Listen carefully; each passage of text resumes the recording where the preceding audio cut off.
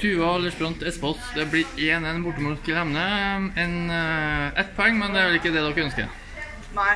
eh, vi reiser ikke opp hit for å ta med ett poeng hjem. Eh, vi reiser opp hit for å få med alle tre. Spiller en OK førsteomgang.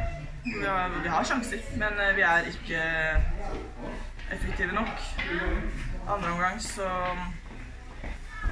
blir det oppstykka, og vi finner ikke noen god rytme på det. Eh, vi er for Mm.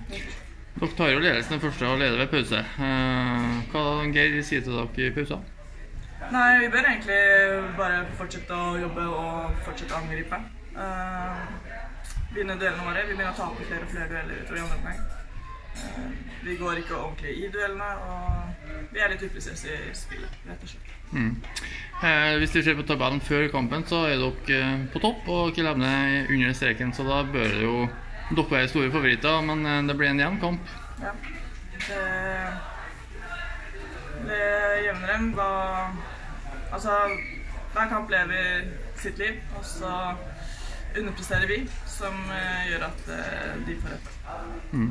Men åssen inngang har dere til kampen? Dere kommer opp hit i går, og det er vel en, en plass og et lag dere ikke er så veldig godt kjent med fra før? Ja, nei eh, Altså, alt ligger til rette for at vi skal gjøre en god kamp. Og hva som svikter, er jeg ikke helt sikker på egentlig helt ennå. Nøyaktig hva det er. Men eh, vi får se. Det. Men blir ett poeng, og du skårer målet. Eh, kan, kan, kan du beskrive situasjonen til oss, eh, hvis du husker den? Eh, det er vel en Jeg tror vi har frispark, egentlig. Altså Løper jeg inn, jeg hører keeper kommer ut, men jeg klarer å touche ballen før. Så går det målet. Ja, det var en fin timing og et fint mål, da. Eh, det er greit. Skulle satt det inn. Ett poeng, men dere er likevel på topp fortsatt. Vi er det nå så nå skal vi hjem og skal vi trene hardt i to uker, og så skal vi bite godt fra oss. Dere kunne jo sikra opprykket i helga her eh, hvis dere hadde vunnet, og Åsane ikke hadde vunnet. Det er rett utenfor.